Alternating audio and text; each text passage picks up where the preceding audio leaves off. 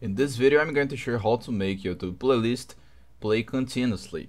It's a very quick and easy process, so make sure to follow along. First you need to come on your computer and search right here on the YouTube search bar your playlist, the playlist that you want to play continuously. So after doing that, open the playlist, in my case it is here, and you just need to click on this button right here, okay? So click on this button and you will make the playlist when the playlist end start from the beginning okay? And that's it you make your playlist play continuously. When this song end the, the, the song number 2 will play. If you want to play the songs randomly click on the second option to shuffle the playlist.